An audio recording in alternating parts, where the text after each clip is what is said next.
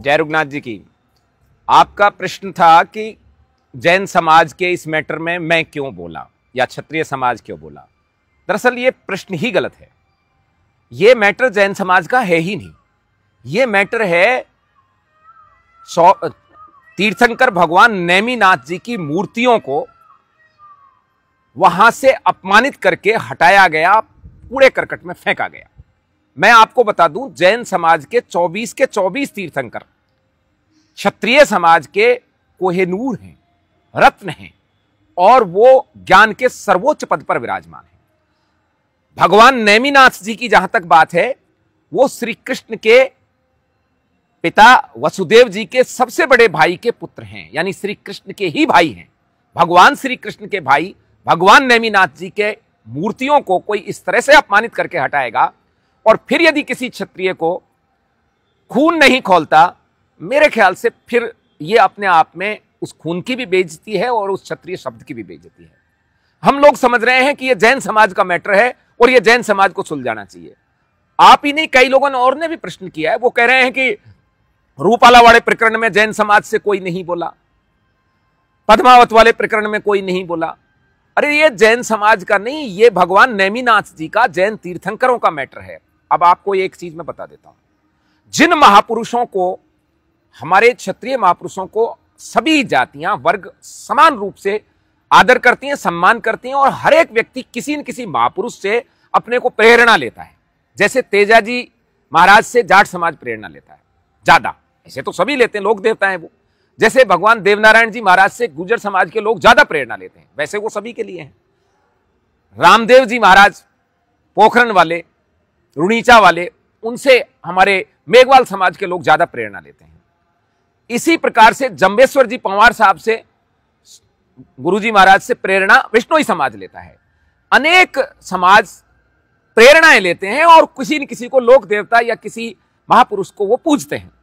लेकिन जिन लोगों ने महा, जैसे महाराज अग्रसेन जी हैं, अग्रवाल समाज उनको अभी भी क्षत्रिय के रूप में ही पूजता है, क्षत्रिय के रूप में ही उनकी जयंती मनाता है। महाराज अग्रसेन, भगवान महावीर, भगवान गौतम बुद्ध नेमिनाथ जी और सभी चौबीस तीर्थंकर, दसों गुरु, जमेश्वर जी पवार, इनसे धीरे धीरे लोगों को आपत्ति होने वाली है। वो इसलिए होने वाली है कि इनके अनुयायी, इनकी जातियाँ नहीं बदल रहे हैं। यानी सभी जैन तीर्थंकरों को क्षत्रिय राजाओं के रूप में ही मानते हैं। कोई भी यह नहीं कहता कि वो वैसे समाज से हैं। इसी प्रकार से गौतम बुद्ध के अनुयायी, भले ही किसी भी समाज के हैं वो भगवान बुद्ध को सूर्यवंशी क्षत्रिय ही मानते हैं। इसी तरीके से विष्णुई समाज जम्बेश्वर जी महाराज को क्षत्रिय के रूप में ही पूजता है, क्षत्रिय के रूप में ही उनको मानता है। इनसे इनको प्रॉब्लम होने वाली है, जिन लोगों ने जातियाँ बदलनी है महापुरुष की, उनसे इनको कोई आपत्ति नहीं है, क्योंकि इतिहास विकृतिकरण में इस देश में एक बहुत बड़ा षड्यंत्र चल रहा है ताकि जातियाँ आपस में लड़ें। अब इन भगवानों को जब तक क्षत्रिय माना जाता जाएगा, तब तक इनकी मूर्तियों को डिस्टर्ब किया जाएगा। जैन मत चूँकि पूरी तरह से शाश्वत रूप से सनातन संस्कृति की श्रवण धारा का है और सनातन संस्कृति के श्रवण धारा के होने के साथ साथ क्षत्रिय साहित्य इतिहास का संवर्धन किया हुआ है। इसी तरीके से बौद्ध मत में एक उदाहरण देता हूँ, सम्राट चंद्रगुप्त मौर्य को। गौतम बुद्ध के बौद्ध साहित्य में और जैन साहित्य दोनों में क्षत्रिय माना गया है, जबकि दूसरी जगह उन्हें क्या माना है, आप सब जानते हैं।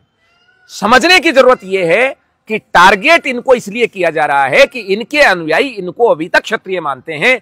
यदि वो भी इनकी जाति बदल लेंगे तो इनका टारगेट बंद हो जाएगा और क्षत्रिय और ये लोग लड़ने लग जाएँगे।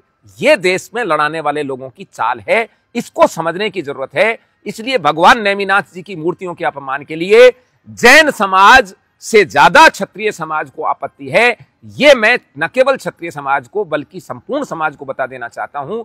भगवान नेमीनाथ जी के पद चिन्हों पर भले ही जैन समाज चलता होगा, लेकिन उनकी रक्त की, उनकी वंश परंपरा की प्रतिनिधित्व जो है यदवंशी क्षत्रिय, चंद्रवंशी क्षत्रिय करते हैं, और क्षत्रिय समाज इसीलिए उनको निश्चित रूप से सम्मान देगा।